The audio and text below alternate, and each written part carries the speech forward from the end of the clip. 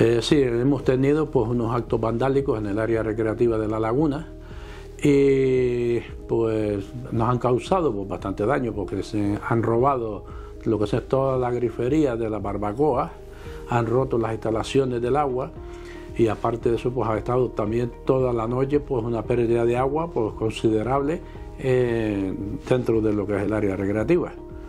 Eh, esto supone pues unos gastos que han costado, estamos recién puestas y han salido unos 1.800 euros, el trabajo de ponerlas y el coste de la material que habrá que volver a reponer.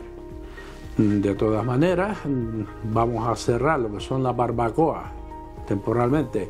Eh, el área de barbacoa quedarán abiertas las mesas para las personas que vengan al área recreativa pero que tenga que traer la comida desde sus casas preparada. Las barbacoas quedarán cerradas hasta nueva orden que tomemos nuevas medidas sobre eh, los arreglos y los acondicionamientos de la zona.